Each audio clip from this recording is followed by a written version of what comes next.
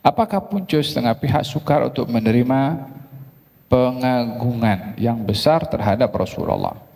Jika kita mengagungkan apa saja terkait dengan Rasulullah akan dikatakan berlebihan dan melampau. Mohon penjelasan, jangan dengar orang yang kata kita melampau. Jangan ikut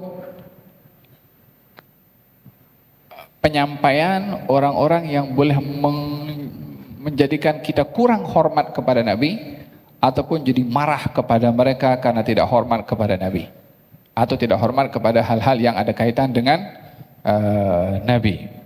Uh, itu yang pertama. Kalau tidak kita akan terganggu selalu marah, marah, marah. Baik jangan dengar uh, kata-kata uh, daripada uh, mereka.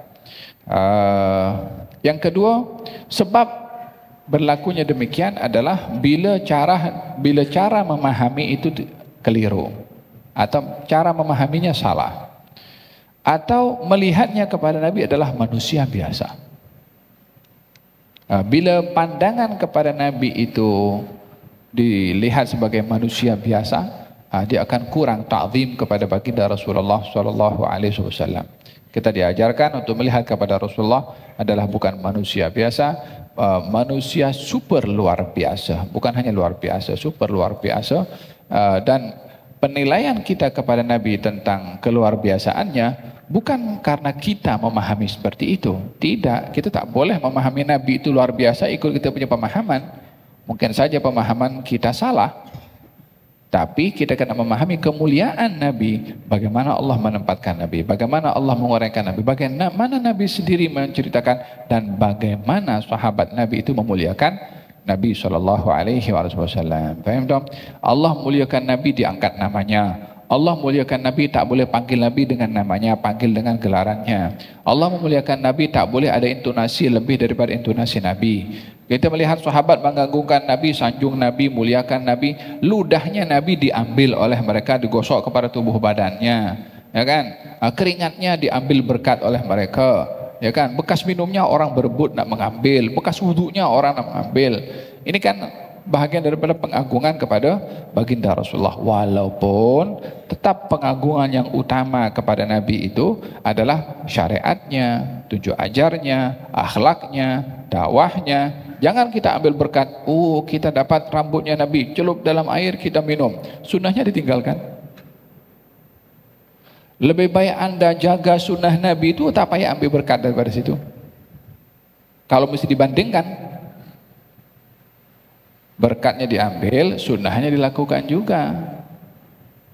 Faham dong? Ya, oh ini apa namanya uh, kain apa yang ada kaitan ke Allah alam. Uh, sekarang pun macam-macam juga kan. Allahu alam. Kita pun tak tahu betul ke tak betul. Makin hari yang nampaknya makin banyak juga.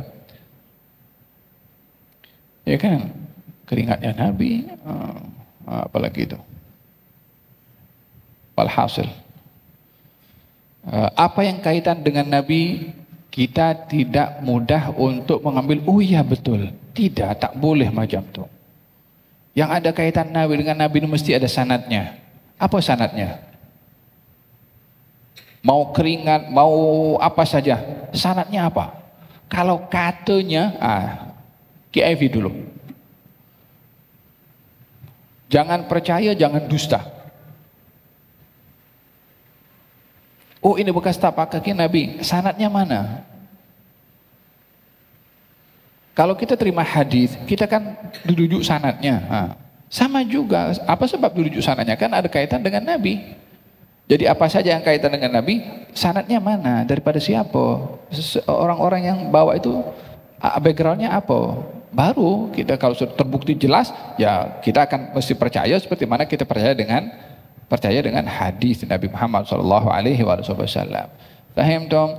Jadi kalau apa namanya hal-hal walhasil apa sajalah yang terkait dengan Nabi mau uh, apa saja mesti ada bukti sanad yang sampai kepada Nabi sallallahu alaihi wasallam. Kalau sabit uh, ala ain baras kita akan uh, sanjung dengan setinggi-tinggi sanjungan.